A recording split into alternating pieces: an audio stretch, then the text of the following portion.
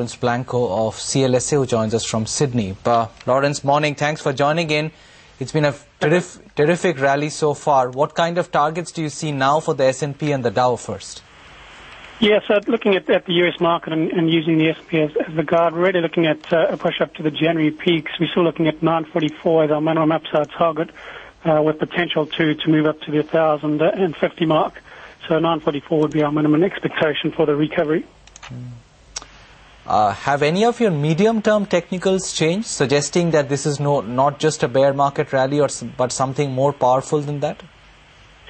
Well, within Asia, what we have noticed is, is, is a clear indication uh, that breadth has improved uh, substantially. So we look at the number of shares within the regional uh, benchmark, excluding Japan, uh, that sits up at uh, 85%. So that's the number of shares trading above the 40-week moving average.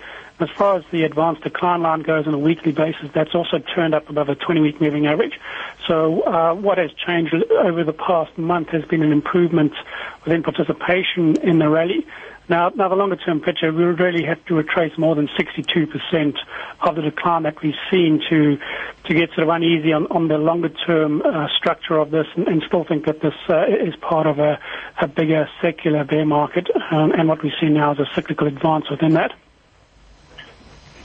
Laurence Morning, how high would you attach the probability though that global equity markets will not go back to retest their lows in 2009?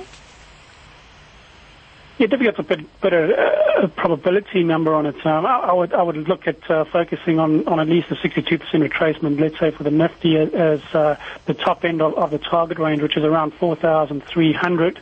Um, as far as retesting the lows this year, um, I think surprises to, to the upside on the equities, uh, with the breakdown really coming as a 2010 event, or the rollover, I should say. There has been uh, outperformance generally amongst emerging markets compared to the others, Laurence, whether it's Brazil or India. What do you see on the charts of markets or of indices like the Nifty and the Sensex? Yeah, so uh, again, I mean, the, the clear uh, pattern that uh, the Nifty painted out was a three-month trading range, uh, and then we saw the break above the 3,100 area, and, and really points to a minimum upside target of 3,700. So within striking distance of that, I think in the short term the market is looking uh, overbought uh, with with the risk of of a pullback or at least a consolidation uh, period happening over, over the next week. I mean, as far as emerging markets go, clearly has been the lead uh, equity uh, equity indices across across the globe. They've made lows in October versus the developed markets that only made lows in, in March. So there's definitely been liquidity inflows into the equity side, uh, which we have noted, uh, and that's caused uh, part of the outperformance is uh, purely the flow of uh, liquidity. Do you track the Chinese index, uh, Laurence? Because that was the first to break out and it tore ahead of the pack.